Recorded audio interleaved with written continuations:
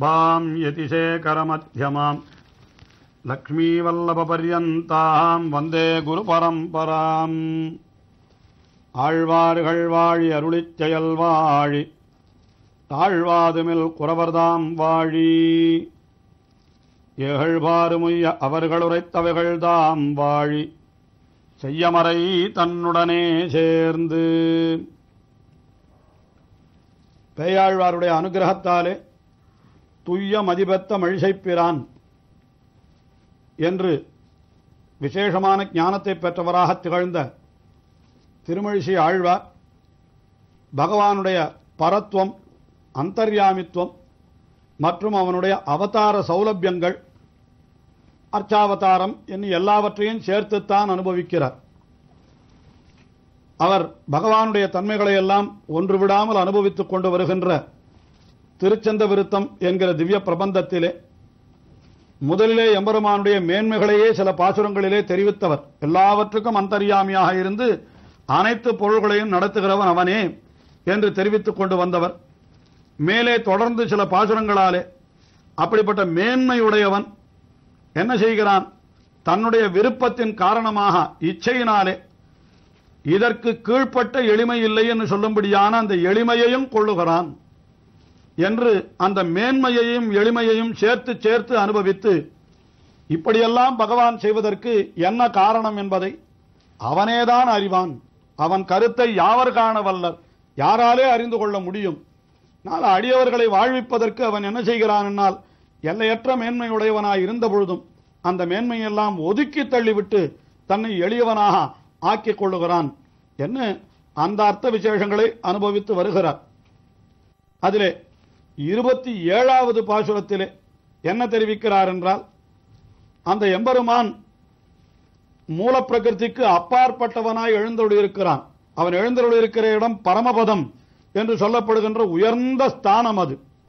அப்படிப்பட்ட இரு- ஸ்தானத்திலே இருக்கிறவனும் கூட என்ன செய்தான் என்றால் தன்னுடையதான இந்த உலகங்களை அவன் மகாபலி என்பவன் ஒருத்தன் அபகரித்துக் கொண்டு கிடந்த பொழுது அவனிடத்திலே போய் அதை யாச்சகம் கேட்டு பெற்றான். என்றால் இது என்ன எளிமை? அதாவது உலகங்களுக்கெல்லாம் உரியவன். அவன் தன்னுடைய உலகத்தையே போய் மற்றொருவனிடத்தில் எனக்கு நீ தானமாக கொடு என்று கேட்கிறான் என்னால் இதைவிட மற்றொரு எளிமை உண்டா என்பது போலே இருபத்தி ஏழாவது பாசுரத்தை அருளி செய்கிறார் திருமழிசை ஆழ்வார்.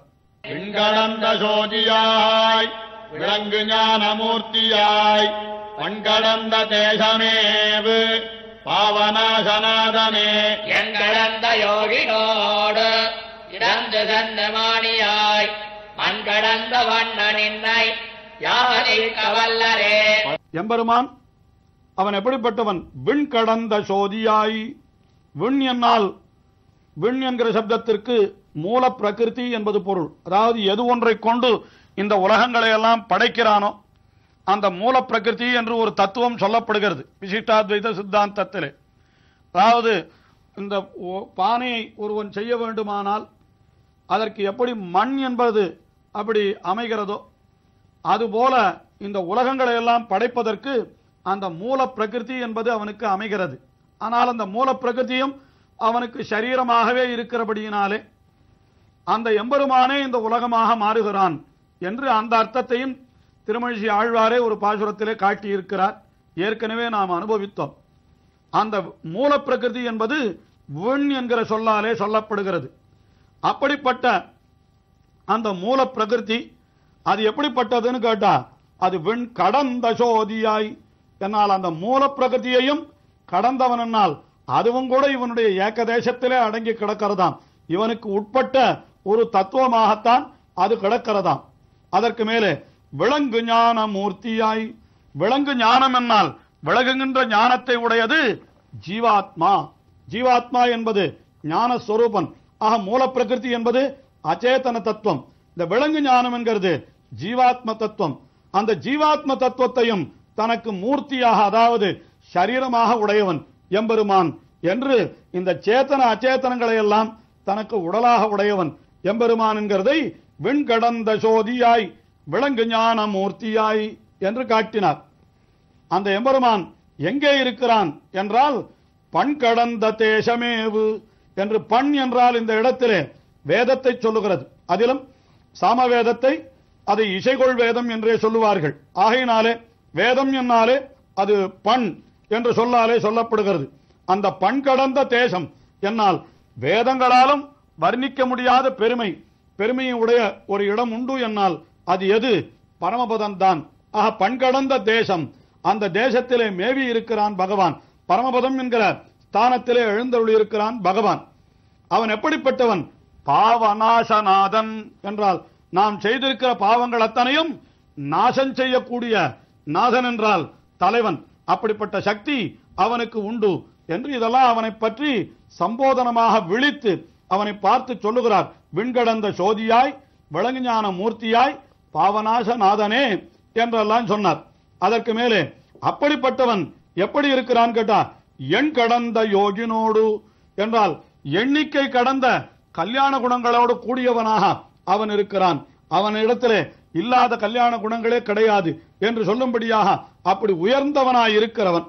என்ன இது அத்தனையும் அவனுடைய மேன்மையை சொல்லித்து அதாவது சேதனா சேதனங்களை தனக்கு சரீரமாக கொண்டவன். பரமபதத்திலே எழுந்தருளி இருப்பவன் அவன் எண்ணிக்கை இல்லாத கல்யாண குணங்களை உடையவன் என்று இப்படியெல்லாம் சொல்லிவிட்டு கடைசியில் என்ன தெரிவிக்கிறார் என்றால் அப்படிப்பட்ட நீ என்ன செய்தாய் என்னால்? இறந்து சென்று மாணியாய் மாணியாய் இறந்து சென்றாய். மாணி என்னால் ஒரு வாமன பிரம்மச்சாரியாய் யாச்சகம் கேட்டு சென்றாய். சென்று அங்கேயும் நீ என்ன செய்தாய் என்னால்? ஒன்றுக்கும் கையாளாகாதவனைப் போல எனக்கு மூன்றடி மண் கொடு என்று அவனிடத்திலே கேட்டு யாச்சித்து பெற்றுவிட்டு உடனே என்ன செய்தாய் என்றால் மண் கடந்த வண்ணனின்னை இந்த உலகத்தை எல்லாம் கடந்து நீ திருவிக்கிரமனாக அப்படி நீ உயர்ந்த ஒரு தோற்றத்தை கொண்டாயே இப்படிப்பட்ட உன்னை யார் மதிக்க வல்லர்? யார் உன்னை அளவிட்டு அறியக்கூடியவர்? உன்னுடைய பெருமையை பார்த்தாலோ நீ சேத்தனா சேத்தனங்களை சரீரமாக கொண்டவன் பரமபதத்திலே இருக்கிறவன் பாபங்களை எல்லாம் அழிப்பவன் எல்லா கல்யாண குணங்களையும் உடையவன். ஆனால் அப்படிப்பட்ட நீ ஒரு யாஜ பிச்சைக்காரனாய் சென்றாய். என்னால் உன்னுடைய எளிமை அங்கு சென்ற இடத்திலும் கூட உடனே உன்னுடைய பரத்துவத்தை காட்டிவிட்டாய் திருவிக்கிரமனாக வளர்ந்து என்று சொன்னால் உன்னுடைய மேன்மையை யார்தான் அறிய முடியும் என்று இந்த பாசுரத்திலே தெரிவித்தவர். அதே போன்ற அவனுடைய அடுத்த பெருமை அதாவது அவனுடைய மேன்மை அதிலே அவன் காட்டின எளிமை இதை மற்றொரு பாசுரத்தாலே இருபத்தி எட்டாவது பாசுரத்தலாயும் தெரிவிக்கிறார். படைத்தவாரிடம் தளர்ந்து அதுண்டுமிழ்ந்து பவ்வனீர் படைத்தடைத்ததில் கிடந்து முன்கடைந்த பெற்றியோய் இடைத்த மாலி மாலிமான் விலங்கு காலனோர்புகா படைக்கலம் விடுத்த பல்படைக்கடக்கமாயனே பகவான் எப்படிப்பட்டவன் என்றால் படைத்தவார் இடந்து அளந்து உண்டு உமிழ்ந்து என்று இந்த பூமியை எத்தனை காரியம் செய்கிறானவன்? இந்த பூமியை படைத்தவன் யார்? என்றால் பகவான் தான் அவன்தான் இந்த படைத்த பாறை படைத்தவன் என்னால் அவன்தான் செய்தான். படைத்தபார். அதை என்ன செய்தான் எம்பெருமான்? இடந்து வராக அவதாரம் எடுத்த பொழுது அந்த பூமியை இடந்து எடுத்தான். அதற்கு மேலே அளந்து என்னால் திருவிக்கிரமனாக அவதரித்த காலத்திலே இந்த பூமியை அவனே தன்னுடைய திருவடிகளாலே அளந்தான். அதற்கு மேலே ஒரு பிரளயம் இந்த பூமியை விழுங்க வந்த பொழுது அவற்றை உண்டான். உண்டு தன்னுடைய வயிற்றிலே வைத்துக் கொண்டிருந்தான். அதற்கு பிறகு பிரளயம் முடிந்தவாறே என்ன செய்தான்? உமிழ்ந்து என்று இந்த தன்னுடைய வாயாலேயே அந்த படைத்தபார் இழந்து அளந்து அது உண்டு உமிழ்ந்து உண்டு உமிழ்ந்து என்னார்.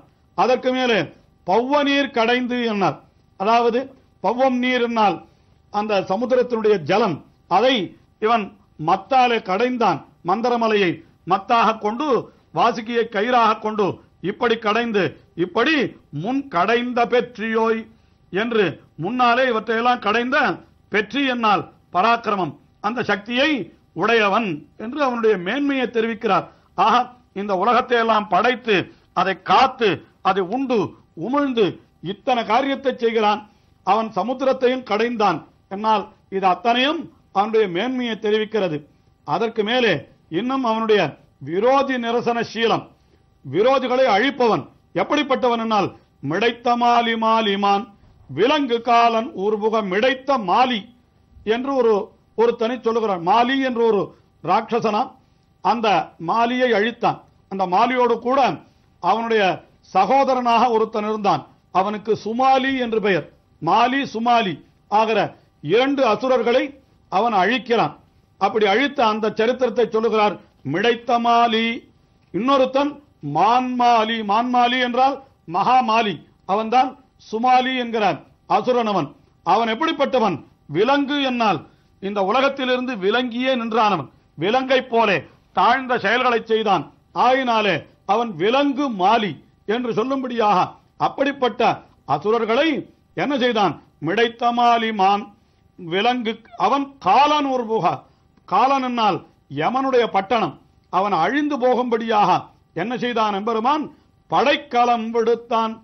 என்று ஆயுதங்களை அவன் மேலே எரிந்தான் என்று இந்த உலகத்திற்கெல்லாம் தீங்கு செய்தவர்களாக இரண்டு அசுரர்கள் மாலி என்றும் சுமாலி என்றும் இரண்டு பேர் இருந்தார்களாம். அவர்களோடு போரிட்டு அவனை அழித்தான் என்கிற புராண வரலாறு அதை இந்த பாசுரத்திலே திருமழிசை பிரான் தெரிவிக்கிறார். அவளெல்லாம் எப்படிப்பட்டவர்கள் என்றால் மிடைத்த மாலி. என்னால் செருக்கி வந்த மாலி. அப்படிப்பட்ட பெரிய கர்வத்தோடு எங்களுக்கு எதிர் யார்? என்று வந்த மாலி சுமாலி இன்னும் மற்றமுள்ளானவர்களையெல்லாம் அழித்தவன் பகவான் ஆகையினாலே அவன் விலங்கு காலன் உருபுக படைக்கலம் விடுத்தான். அவன் எப்படிப்பட்டவன்? பல்படை தடக்கை என்று பல படைகளை தன்னுடைய தடம் கைகளிலே ஏந்தி இருந்து இப்படி அடியவர்களுடைய விரோதி யார் சில பேர் உண்டோ அவர்கள் அத்தனை பேரையும் அழித்தவன் என்று அவனுடைய பெருமையை சொல்லி அவனை மாயனே என்கிறார். ஆச்சரியமான சக்திகள் படைத்தவன் என்கின்றார். ஆக இதனாலே என்ன தெரிவிக்கப்படுகிறது என்னால்? எம்பெருமானுடைய எல்லையற்ற மேன்மை. அதாவது உலகத்தை எல்லாம் அவன் படைக்கிறான். அந்த படைத்த பூமியை தானே இடந்து எடுக்கிறான். வராகமாக திருவிக்கிரமாக அளக்கிறான் உண்கிறான் உமிழ்கிறான் சமுத்திரத்தை கடைகிறான். இப்படிப்பட்ட கொடிய அசுரர்களை அழிக்கிறான் என்றால் இந்த உலகத்தை காப்பதும் அந்த உலகத்திற்கு விரோதிகள் யார் சில பேர் வருகிறாரோ அவர்களை அழிப்பதும் எல்லாம் எம்பெருமான் தான் என்று அவனுடைய மேன்மையை தெரிவித்தார். தொடர்ந்து அனுபவிப்போம்.